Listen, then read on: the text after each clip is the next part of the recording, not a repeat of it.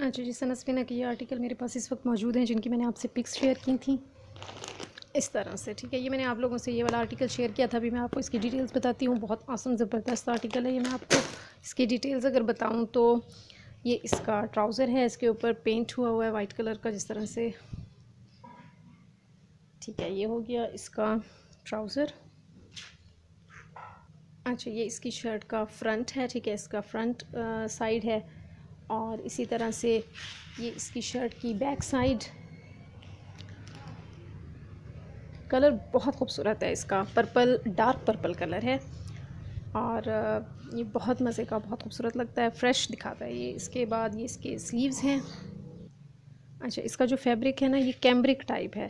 ये cambric type fabric है इसका और इसकी जो पैटर्न है ना निटिंग पैटर्न, वो स्लब टाइप बट ये जो है, ना मोटा है ज़्यादा, ना पतला है ज़्यादा, इस सीज़न के लिहाज से ये बेस्ट है। ये इस सीज़न का सूट है जो कि आपका अप्रैल के एंड तक चलेगा।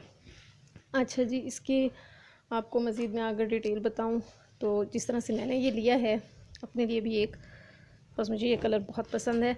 तो इसके ऊपर मुझे थोड़ा सा इनके जो बर्ड्स वगैरह होते हैं, इसके ऊपर ये मोर पिकॉक्स बने हुए इसका मुझे थोड़ा सा इशू होता है तो इसका भी एक वो है कि मैंने इसके साथ जो इन्होंने बॉर्डर दी हुई है ना, बहुत खूबसूरत, मैंने इस जगह को कट करके इसके साथ बॉर्डर यहाँ पे लगाना है।